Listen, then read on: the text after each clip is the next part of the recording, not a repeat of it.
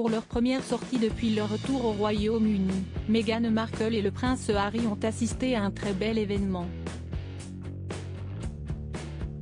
En effet, jeudi 5 mars 2020, lors de la soirée des Endeavour Fund Awards, un homme n'a pas hésité à déclarer sa flamme à sa petite amie. Il s'agit de Danny Holland qui, après avoir reçu le prix de la reconnaissance, a demandé la main de la femme de sa vie. Celle qu'il appelle Missu l'a rejoint sur la scène et lui a dit un gros oui tout en pleurant. Devant toute l'assemblée, dont le duc et la duchesse de Sussex, Danny Holland s'est ensuite mis à genoux avant de passer la bague au doigt à celle qu'il aime.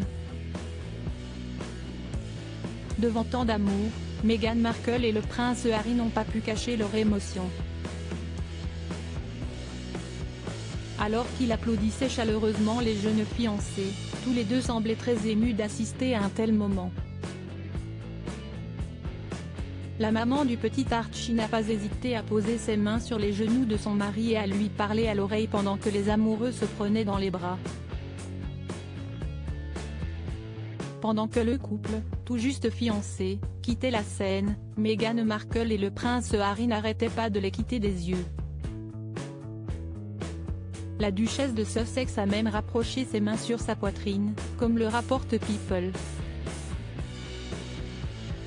Meghan Markle et le prince Harry ne ratent jamais les Endeavour Fund Awards si est donc un événement riche en émotions auquel a participé le couple royal pour sa première apparition ensemble depuis son déménagement au Canada et sa décision de se mettre en retrait de ses obligations royales.